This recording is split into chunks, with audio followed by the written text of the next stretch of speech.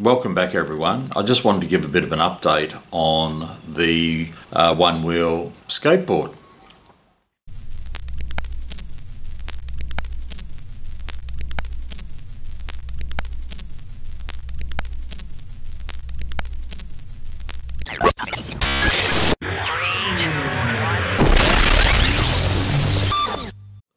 We're moving the office for the business at the moment, so it's a little bit full on at work and uh, school holidays here as well mean, has meant I haven't got a lot done.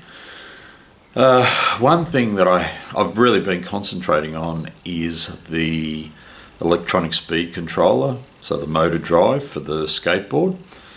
And I wanted to include regenerative braking in the picture for a couple of reasons. Uh, one, just efficiency, trying to keep the battery charged as much as possible. I guess the second thing is I thought it'd be quite useful as far as uh, just braking when you lean back. Uh, I've done a lot of research on the web. I've reviewed a lot of research papers on regenerative braking. And what I've found on the web is there's an awful lot of bullshit. Just things that aren't right. And a lot of these are research papers that just are grossly inaccurate. So it's been a bit of a trial, but I think I've got to the point where I understand how the regenerative braking works and how to drive the H bridge correctly. Well, it's three half bridges for the three phase drive. So I understand exactly what's needed there. I'm going to have to change the design a little bit.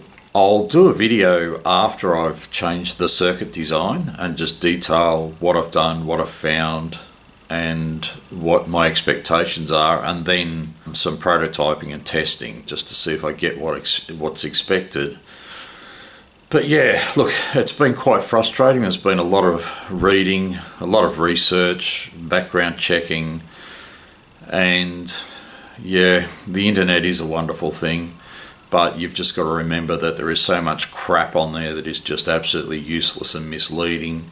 You know, just go back to basics check the research, make sure that you're on the right track. And if you do those processes, it should see you right. I don't know whether I'm going to get too much done over the weekend with our young visitors here. However, hoping I can get a video out fairly soon, just detailing the changes and then actually get something happening.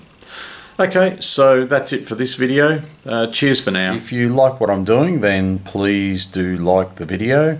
If you'd like to see more, then please subscribe and don't forget to hit the chime so you get notified when I post something new. And I'll put a couple of links here to some other videos you can look at.